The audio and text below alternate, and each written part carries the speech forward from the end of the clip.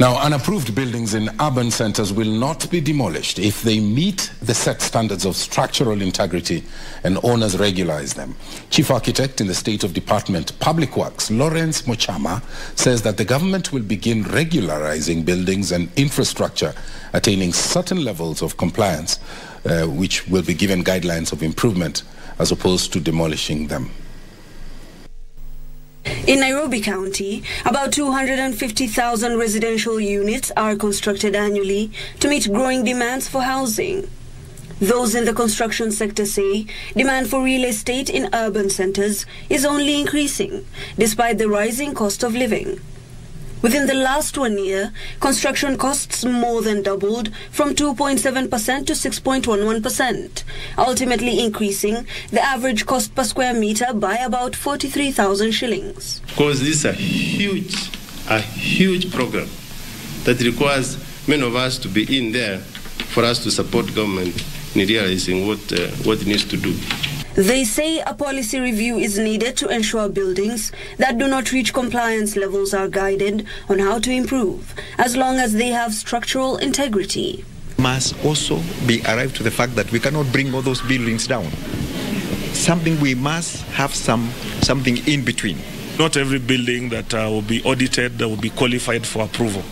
There will be some which will be recommended for removal there will be others which will be asked to do some modifications and adjustments in order for them to be accepted as habitable human areas. In addition, an urban planning technical committee has been set up for Nairobi County to audit non-approved buildings.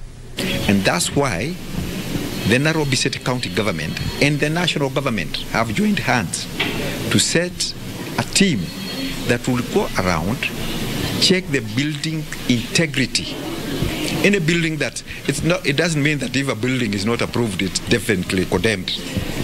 In a building that means the structural integrity will have to be regularized. Um, partnerships between the industry um, and the county government, and of course with those two players on the table, uh, more than happy to support it at the Assembly to ensure these discussions translate into legislative uh, policies that are then implemented by the executive. This goes in the greater scheme of ensuring the city structure is at par with international capital city standards. Because these are also standards that are looked at globally by the World Bank in terms of ease of doing business. They are, however, urging contractors to seek professional guidance at all stages of construction as the root solution for stemming cases of buildings collapsing. People are not building and buildings collapsing out of uh, any professional negligence. It's a lack of professional input. How does that happen? Someone comes in, they have words of cash, they want to build, and they decide the shortest way is better. It's a human thing. You always look to do things easier, but shortcuts always cost you more. Hibak Said for Prime Edition.